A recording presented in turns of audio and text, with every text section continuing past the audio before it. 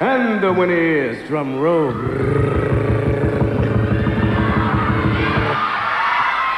Peter Andre!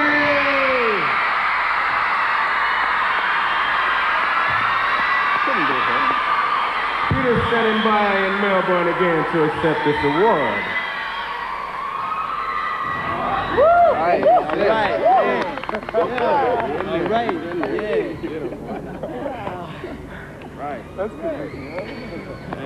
Well, instead of thanking myself, I, instead of saying that I, I'm happy, I'm this, I think a lot of credit's got to go to people that helped me with this. All the people behind me, my record company, Mushroom Records, and um, Molly, of course, everybody that worked on my album. This is so much of a dream for me.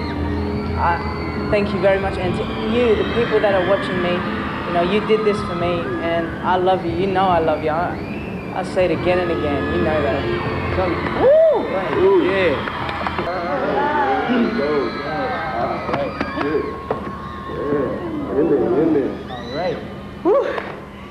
And this has been this has been such a good night for me. I can't believe this.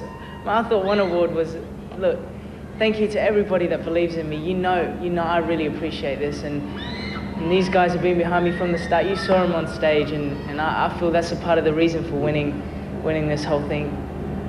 I don't want to cry on you, mom, dad. I'm just, oh, thank you, thank you, thank you, thank you very much.